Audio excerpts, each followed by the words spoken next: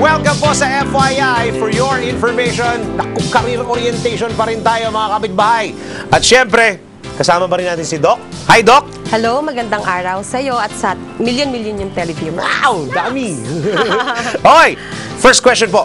Napakaraming mga graduate sa high school na hindi man lang alam kung anong kurso ang kukunin sa college. Maire-recommend niyo po ba ang dent- dentistry? Napakahirap na tanong. Ah, yung course kasi namin kailangan gusto or or m- ah, may talent yung bata Okay. para para Anong mag-aral talent, ma'am, yun? Pagka dentistry, anong Kailangan dapat- medyo artistic, kailangan mahilig siyang magkalikot. Artistic? Ah, yeah, Artistic? oo, oo, kasi Bakit we're using our hands. Okay. Kailangan makalikot, kailangan ah, makalikot, ma, ma ah, magaling yung kamay. Okay. And then Magaling po kami ko. Disiplina, kailangan, kailangan. And then, kailangan gusto ng bata na maging doktor.